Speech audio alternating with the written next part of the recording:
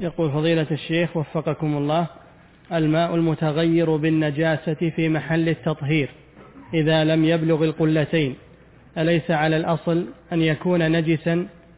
يستثنى يستثنى هذه المسألة لأنه لو اعتبرناه نجس ما طهر المكان. فما دام أنه يتردد في المكان فهو يطهر يطهر إلى أن تزول النجاسة.